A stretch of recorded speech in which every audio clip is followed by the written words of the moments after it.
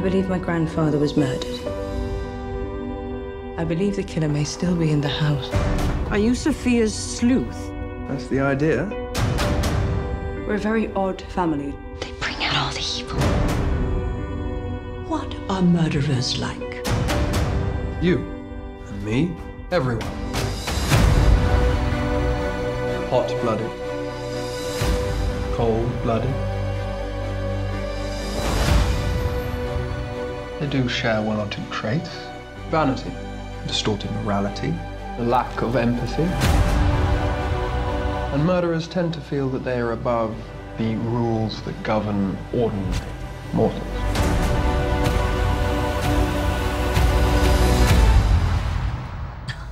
That description fits every member of this family.